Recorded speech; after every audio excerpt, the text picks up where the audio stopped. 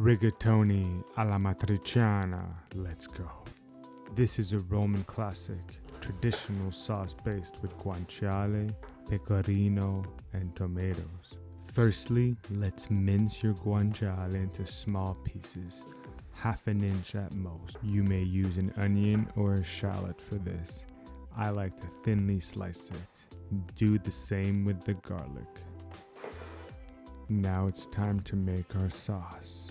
I like to use DOP Italian tomatoes. Simplicity is key when making your sauce. It's very simple, just some salt, pepper, red chili flake, oregano, and don't forget a touch of olive oil when blending it all together smoothly.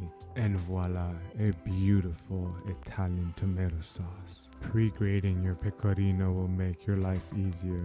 Lightly fry your guanciale until crispy.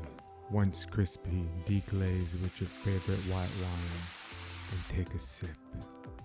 Once you can't smell the alcohol, it's time to add your tomato sauce. Once the pasta is ready, add it to your sauce. While mixing, add your pecorino. This will make a creamier sauce. You may also add pasta water to attain the perfect texture. Once plated, add again some pecorino romano, some basil, and a touch of olive oil. Buon appetito, my friends.